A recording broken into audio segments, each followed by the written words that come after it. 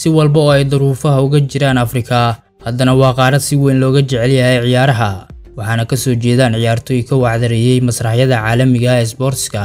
garoomada ciyaaraha ee afrika qaarkood waa kuwo la tartamaya kuwa ugu waaweyn uguna casrisan caalamka waxaana kor u kacaya horumarkeeda dhanka sboortiska haddaba soomaaliya waa gob liicsan muddo ka badan rubac qarni waana xaqiiq inay dhaafeen dalal badan oo afrikaan ah oo ay naf iyo maalba u hurtay sidii ay madax bannaanidooda u heli lahaayeen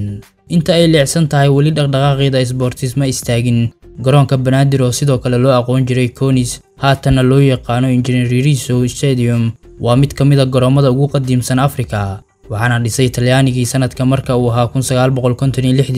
waxaa ballaarin lagu sameeyey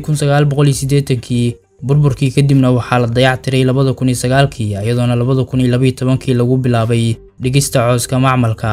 wuxuu sannadihii ugu dambeeyey ahaa garoonka uu xiriirka kubadda cagta soomaaliya u adeegsado tartamada kala duwan. Dhanka kalena waxaa dib u soo laabtay oo la dayactiray muqadisho stadium oo ka mid ahaa garoommada tilmaaman ee afrika. Inkastoo uu noqday mid la iska iloobay qaarad iyo caalami ahaanba su'aashuse waxay tahay muddo badan oo uu daryeel dowladnimo helin. Garoonkan kaalintuu kaga jiraa garoommada ugu waaweyn. Haddaan barbar dhigno garoommada kubadda cagta ee ugu waaweyn caalamka muqadisho stadium waxaa laga yaabaa inuusan gelin kaalmaha ugu horreeya. Tusaale rongarado mayday stadium waa garoonka ugu weyn caalamka ee kubadda cagta wuxuuna ku yaalaa magaalada pyongyang ee waqooyiga kuuriya. Sheegashada kuuriyada waqooyi waa in garoonkan uu qaadi karo kun oo taageerayaal ah balse qiyaasta ka madax bannaan kuuriyada waqooyi waa kun. Haddaba aan u soo laabano afrika islamarkaana aan isla ogaano garoommada ugu waaweyn afrika iyo kaalinta uu gali karo muqadisho stadium. Dalalka afrika waxaa ka mid a dalka south africa oo martigeliyey koobka adduunka waxaana ka mid a garoommada dalkan f m b stadium oo ah garoonka ugu weyn afrika dhanka kalena ah garoonka shanaad ee ugu weyn caalamka waa garoon ku yaalla magaalada johannesburg ee caasimadda koonfur afrika wuxuuna qaadaa taageerayaal gaaraya sagaashan iyo afar kun. Waxaa la furay kii kadibna waxaa la cusboonaysiiyey oo dib u habeen lagu sameeyey laba jeer. Waxaana sida caadiga lagu qabtaa kulamada kubadda cagta iyo rugbiga waana labada ciyaar ee ka caanka ah south africa. Garoonka labaad ee ugu weyn afrika waa bog al arab stadium oo ku yaalla magaalada aleskandariya ee dalka masar garoonkan wuxuu ka mid ahaa mashruuc ee masar ku dhisaysay shan garoon oo caalami ah si ay ugu guulaysato martigelinta koobkii adduunka ee kii lagu qabtay south africa. Haddaba markii ay masar ku guul daraysatay tartankaasi wuxuu garoonkan noqday mid ay ku ciyaaraan xulka kubadda cagta masar. Garoonka saddexaad ee afrika ugu weyn wuxuu dhacaa caasimadda kinshasa ee dalka democratic republic of congo. Waa garoon baaxad weyn oo lagu magacaabo pentecoste madas stadium wuxuuna qaadaa taageerayaal gaaraya siddeetan kun magaciisa asalka garoonkan wuxuu ahaa kamanyola stadium waxaana la dhisay sannadkii waxaa ku ciyaaraan laba koox oo ka dhisan dalkan oo lagu kala magacaabo as vita club iyo d c motema bembe waxaana sidoo kale ku ciyaara xulka kubadda cagta ee dalkan. Garoonka kubadda cagta ee afraad ee ugu weyn afrika waa cairo international stadium oo ah garoonka lagu qabtay fiinaalkii koobka afrika ee garoonkan markii la furayey kii waxaa lagu magacaabayey nasir stadium waana garoon qaada taageerayaal gaaraya toddobaatan iyo afar kun. Waxaa xusid mudan in garoonkan dib u habeen iyo ballaarin lagu sameeyey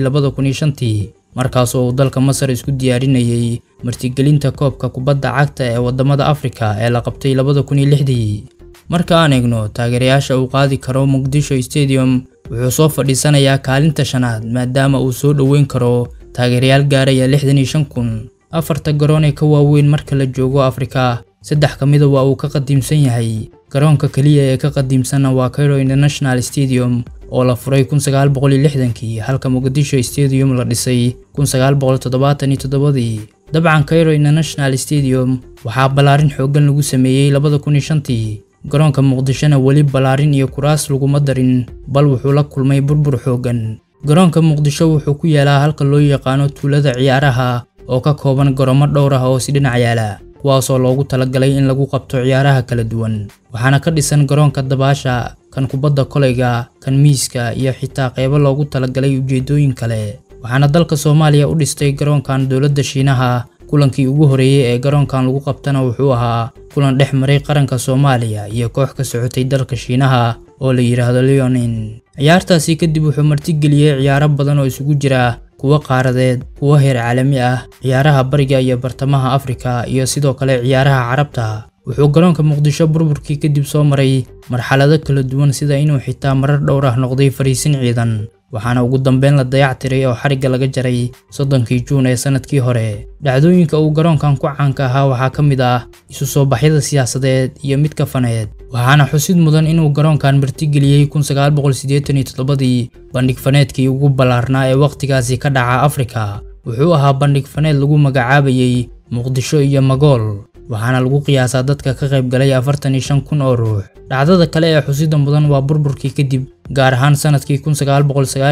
tii waxaana markaasi uu garoonkan martigeliyey taageerayaashii ugu badnaa abid. ciyaarta sidaasi loo buuxdhaafiyey waxay ahayd fiinaalkii tartanka iftiinka nabadda oo ay wada ciyaareen elman iyo s i t t waxaana isu-umaatinka nabadeed hogaaminayey elman cali axmed oo la dilay